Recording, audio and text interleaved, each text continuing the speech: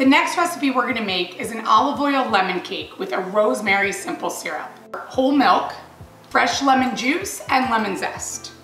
Whisk that together. We're gonna crack three eggs. We're gonna take our sugar, blend those together. Three fourths of a cup of olive oil.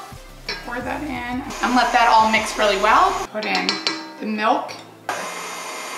We're gonna add to the flour baking soda and baking powder. And then I'm gonna put that into our mixture. Some olive oil in the pan, a little flour down as well on top of the olive oil. Right down in the center. And it's ready to go in the oven. Pour the rosemary simple syrup all over the cake. Put that right on top of the cake and just put some rosemary right here.